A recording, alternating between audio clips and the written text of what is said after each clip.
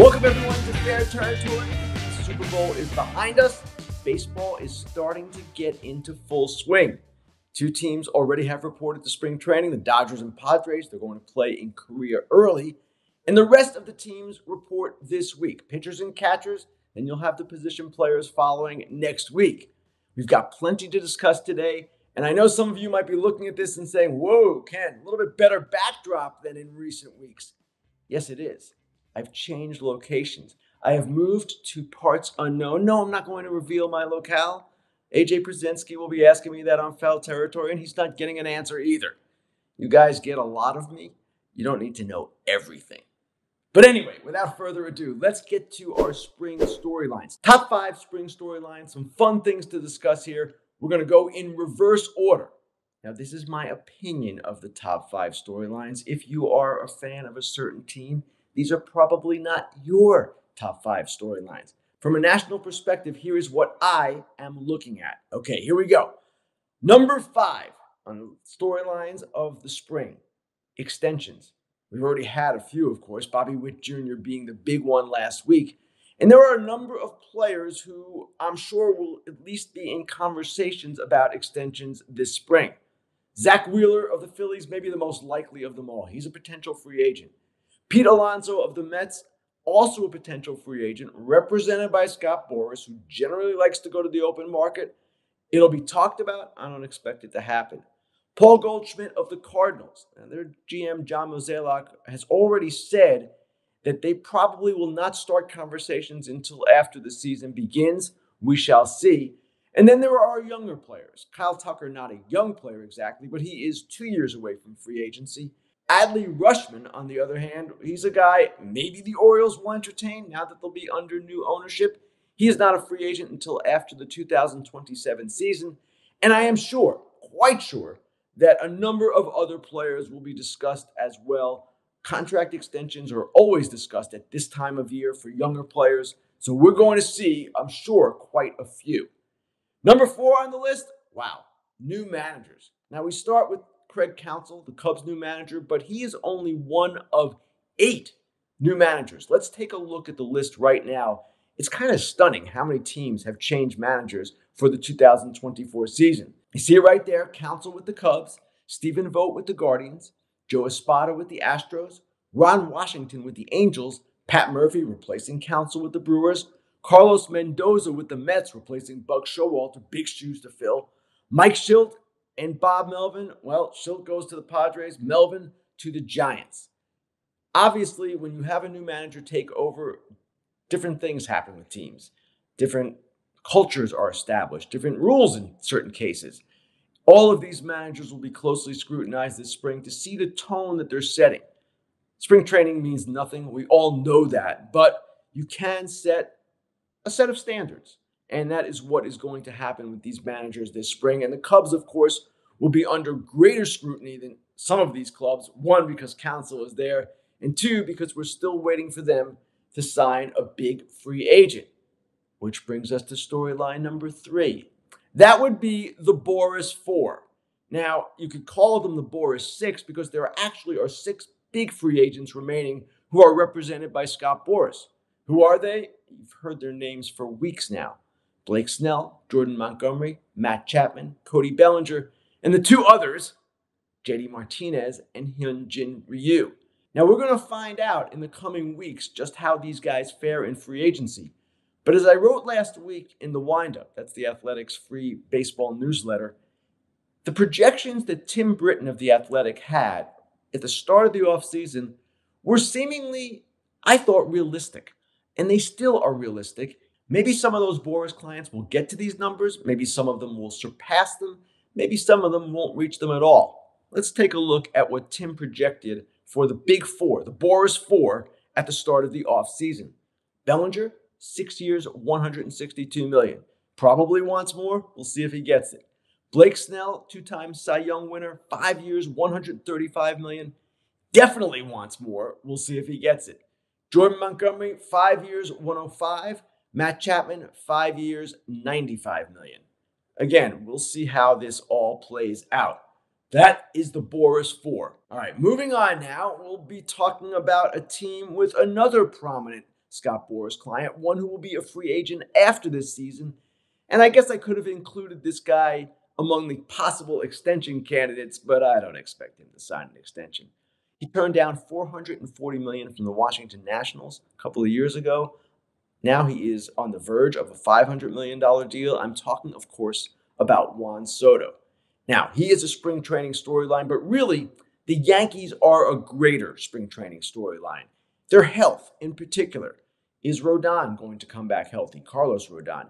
Is Nestor Cortes Jr. going to come back healthy? And how is this all going to play out for the Yankees? If one of those pitchers gets hurt, maybe they get more active with regard to a Blake Snell or Jordan Montgomery, something along those lines. And finally, our number one storyline.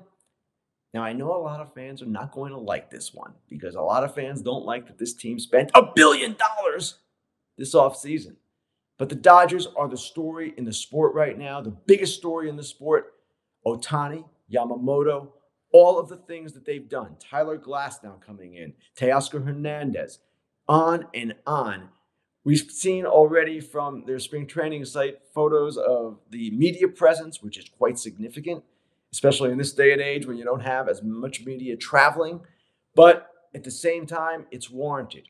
It's warranted because this team has spent more than a billion dollars. This team will be under scrutiny all season. This team will be under a unique form of pressure all season. The manager, Dave Roberts, is going to be under even greater pressure than ever before. Every game for them, as Mookie Betts said, will be like a World Series game, at least for the opponent.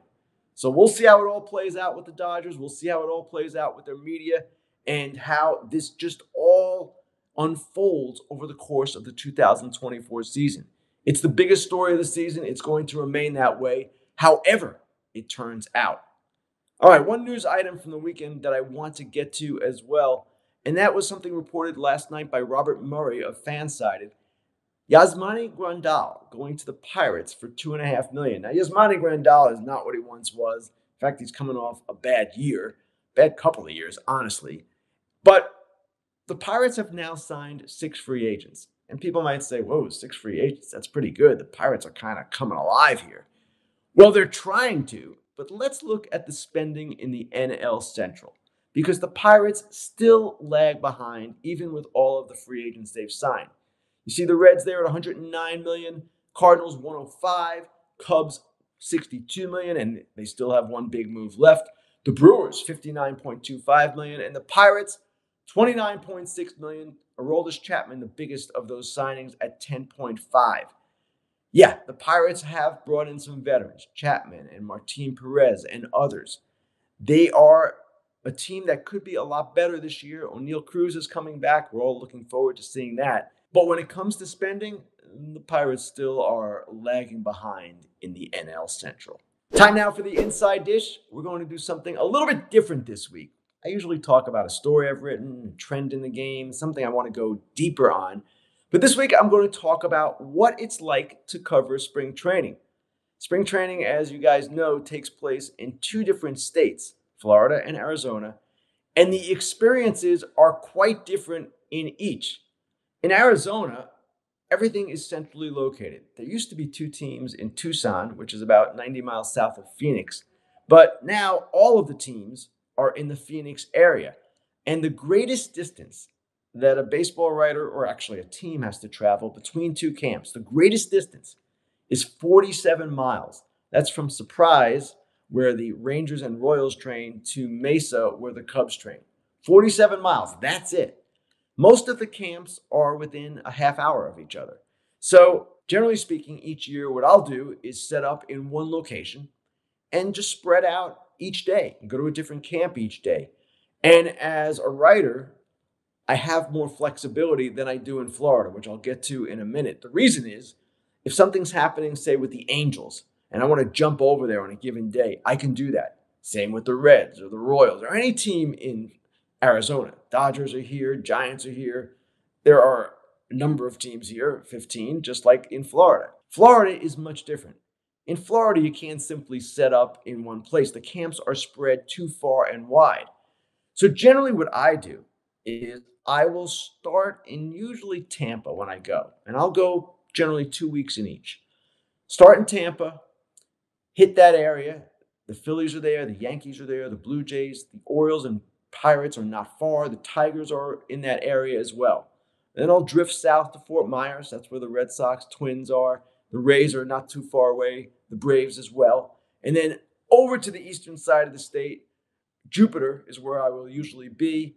The Mets are up in Port St. Lucie. The Cardinals and Marlins are in Jupiter, and the Astros and Nationals are really close by in West Palm Beach.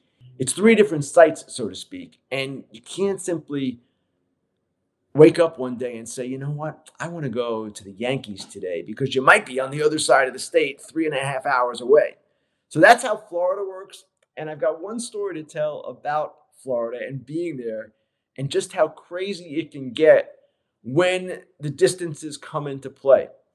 Now, a few years ago, this was 2019, after Evan Drellich and I wrote the Astros sign stealing story, you might remember that Cody Bellinger over in Arizona when he was still with the Dodgers ripped the Astros and said some things about Altuve, how he shouldn't be the MVP. And it was a big controversy that spring training in general was all about the Astros. The penalties had come out in January, just a month before. There was a lot of talk. So I was in Florida. I was on the east side of the state in Jupiter, Florida. And Carlos Correa, who I know well, I've covered him for a long time, texts me. And he says, I want to respond to Cody Bellinger. I'm like, okay. I was thinking he wanted to do something for print.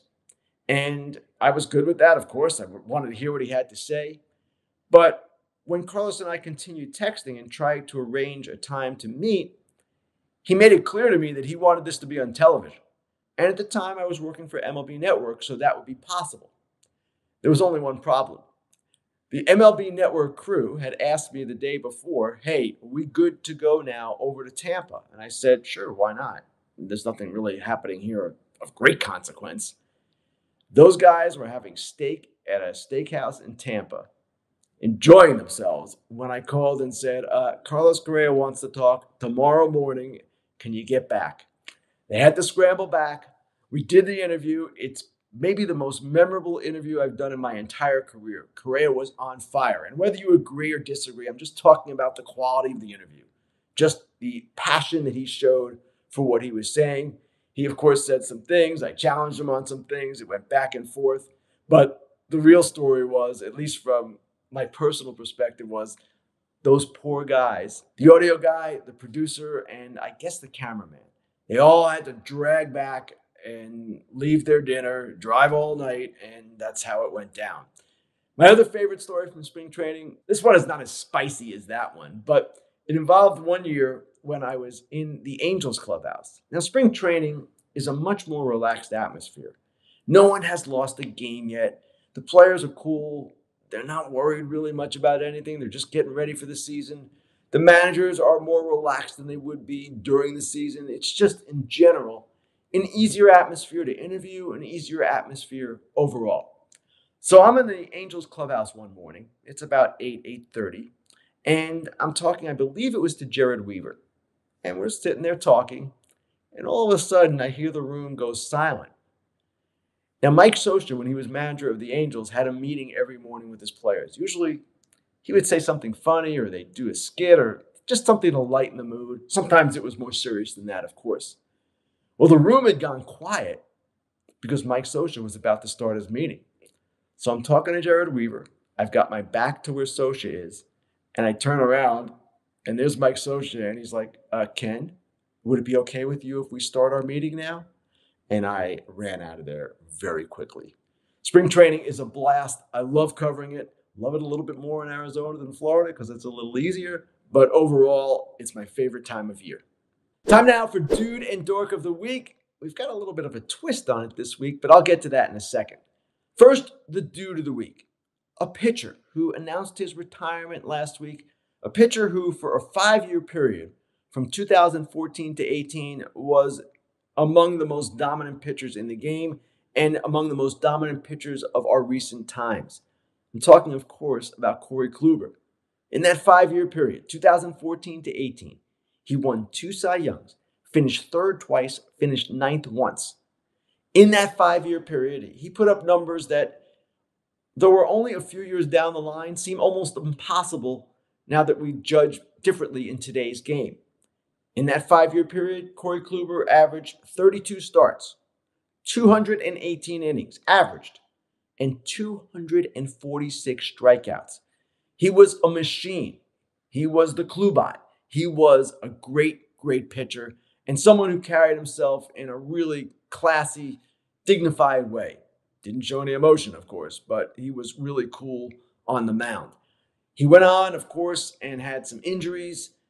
Wasn't really the same. Did have the no hitter for the Yankees in 2021, but just for a fantastic career, Corey Kluber, dude of the week.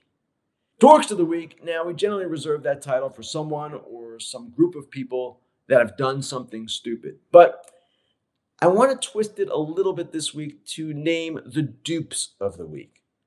The dupes of the week would be the Nevada State Legislature and the governor of Nevada, Joe Lombardo.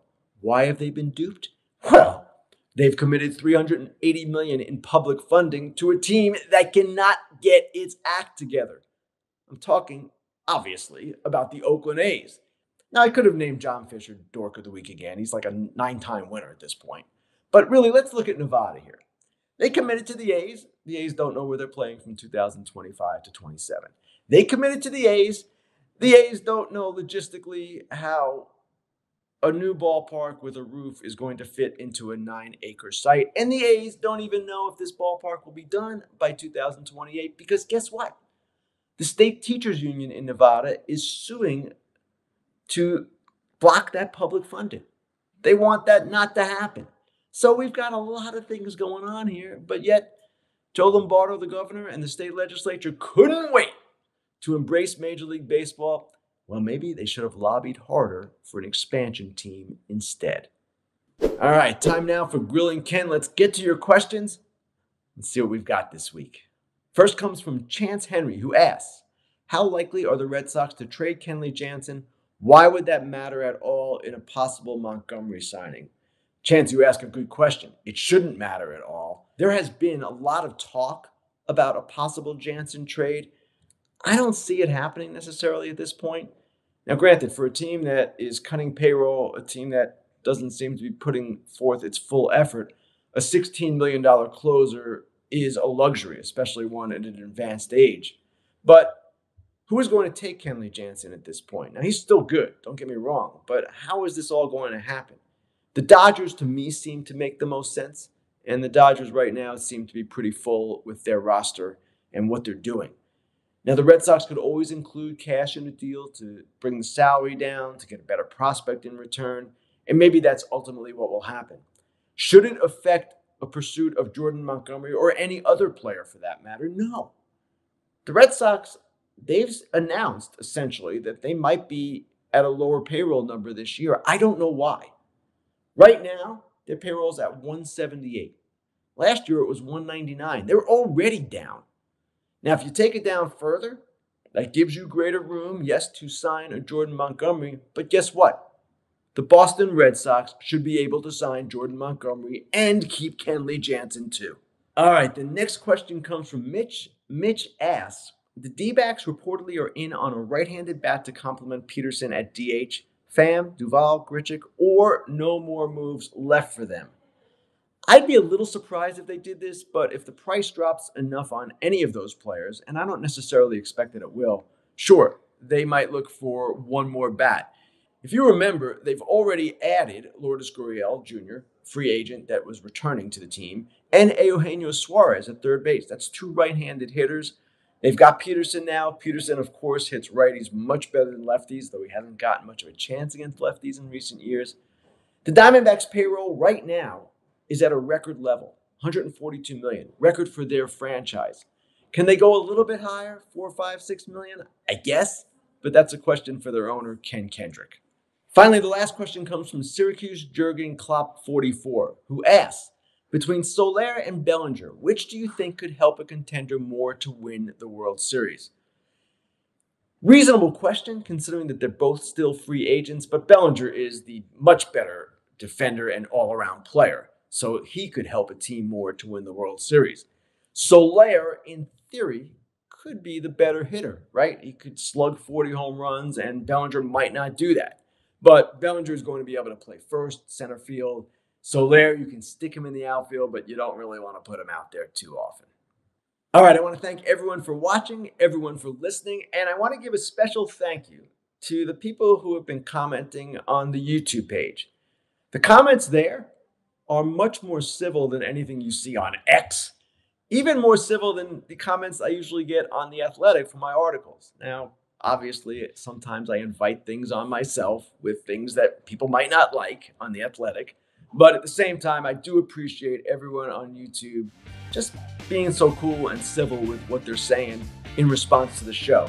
And never mind people disagreeing with what I say. That's all part of it. That's why we love baseball, the arguments. But I do appreciate when people are respectful. And from what I've seen, people have been really respectful. So, you know where to find us YouTube, Spotify, Apple. Like us, subscribe to us, stay with us. Be back next Monday.